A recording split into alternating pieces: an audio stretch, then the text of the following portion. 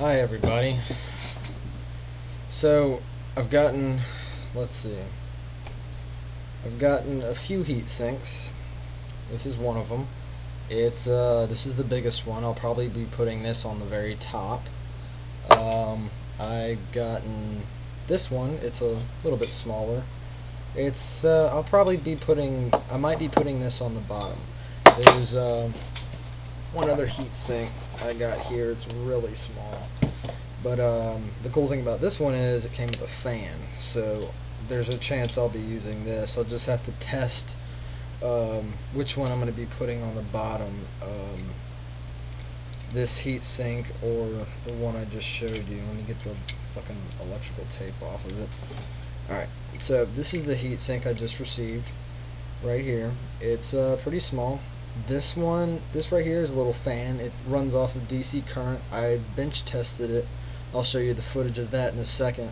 Um, it consumes about, I think it was like 1.7 ohms or something like that, which is not a lot. It, that's a very small resistance for a fan, which means it won't consume a lot of power, which is good. I really want that. But at the same time, the fan's well, it's really kind of slow. Like it's it's not a very fast or high-powered fan at all. So it's kind of right now it's a toss-up between this heat sink on the bottom or this heat sink.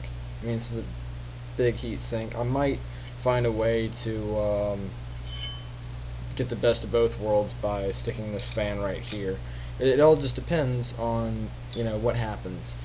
Um, unfortunately, I can't reverse the polarity of this. I've already tried, so it only spins in one direction. So I'll have to figure out how to do that. Um, I'm having a really bad issue right now, like the worst fucking kind of issue for anybody, uh, and that's that I'm out of money. Um, I really am not going to spend any more money on this until next paycheck. Um, that's the that's pretty much the worst news I could have for myself right now. Uh, I can't. I've I kind of had some spare change left over to see if I could play with this experiment. I wound up costing a little more than I thought. I kind of got carried away. I thought it was going to be a really small thing. It started out with me just going to use the container I have now, and um, it just kind of evolved and escalated, and now I'm going to be I don't even know how much. Ugh. But yeah, I'm out of money for right now. But just for right now, this is all on pause until I get more of that. Um, let's see. What I'm gonna need is some wiring. I'm gonna need some some rubber washers and screws so that I can mount all of this stuff on the lid of the cooler. I'm going to need um, let's see what else. Maybe a, a, a power strip because I'm going to be doing something else with that. And uh, I'm really just uh, yeah I'm I'm out for right now. But um, all that stuff will be in the future.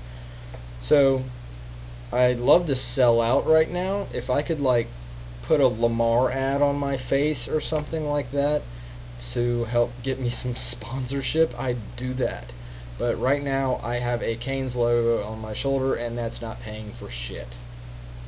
So, until I get some some more change, I'm just going to. Uh, I'll be bench testing some of the parts that are coming in. I'll be uploading that footage, but I'm not gonna buy anything else. I just I just gotta stop. I gotta stop, stop, stop with that. I got other more important bills I gotta pay. And uh, that's it for right now. Next, you're gonna see the footage of me bench testing this little fan. And uh, see you next time.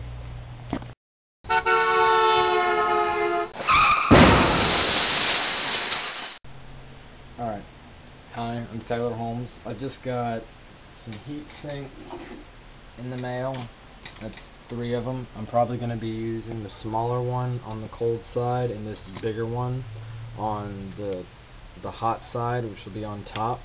Um, this one came with a small fan right here. Now I wanted to bench test the fan to see about roughly how many ohms of resistance it's going to put in the circuit. So the first thing I did was I got to test the voltage of this. It's about, let me see if I can get this right, about 12 volts, 12.2 volts roughly. And um, now I need to see um, how many amps I can get to run through this. Alright, so there I've got this connected in series with the circuit to test amps.